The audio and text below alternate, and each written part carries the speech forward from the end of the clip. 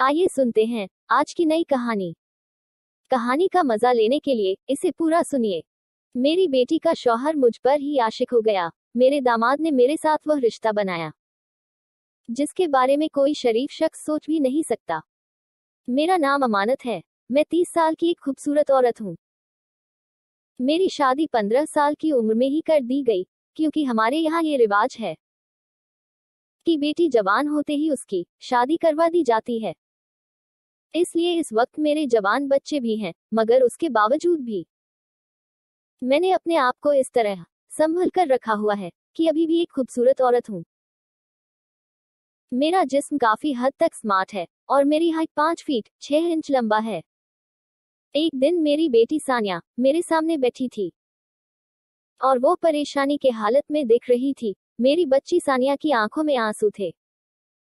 और मैं जानती थी कि उसका दिल बहुत छोटा सा है। जरा सी कोई ऊंच नीच हो जाए तो उसका दिल टूट जाता था। लेकिन आज जिस मुसीबत से वह परेशान थी, उस पर तो बड़े बड़े घबरा जाते हैं। मेरी एकलौती बेटी मेरे पास तो शहजादियों की तरह पली थी। सानिया की शादी को तीन ही महीने हुए थे, जब वसीम का रिश्ता सनिया के लिए आया। और मैंने जब वसीम को देखा तो वह मुझे पहले ही नज़र में भाग गए। बाकी देख परख मेरे शोहर और देवरों ने भी कर ली थी। लेकिन मेरी नज़र भी अपने दामाद वसीम की शराफत भरे चेहरे से धोखा खा गई थी।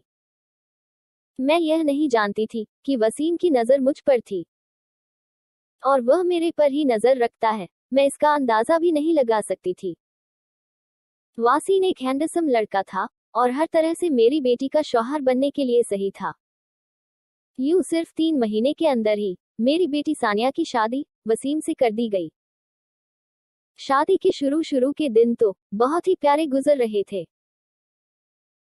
बच्ची मई के आती तो उसके चेहरे पर जैसे मुस्कुराहट बिखरी होती थी।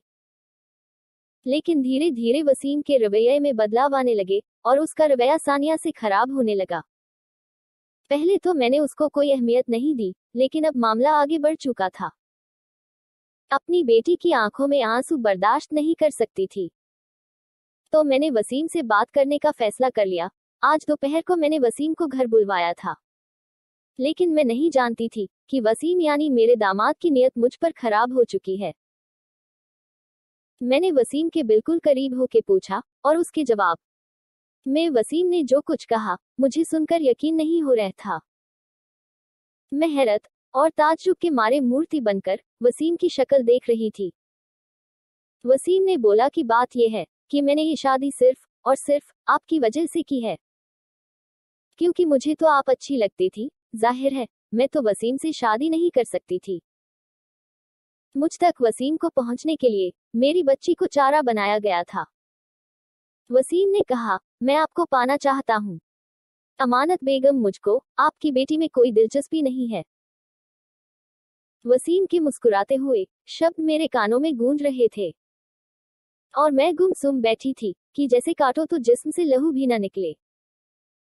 वसीम, यह कैसे मुमकिन है? मैं तो तुम्हारी सास हूँ, तुम्हारी माँ जैसी है। वसीम ने एक पर ज़ोर देते हुए कहा, जनता हूँ, आप मेरी माँ जैसी हैं। लेकिन आप एक औरत भी तो हैं, और मेरी तलब हर रिश्ते नाते से आज़ाद है। और मैंने आपको साफ़ शब्दों में बता दिया है कि मैंने यह शादी सिर्फ़ आपको हासिल करने के लिए की है। वसीम ने मेरा हाथ थाम कर कहा, और उसके साथ वसीम ने मुझे अपनी तरफ़ खींचकर अपने करीब बैठा लिया, मैं तो घबरा गई।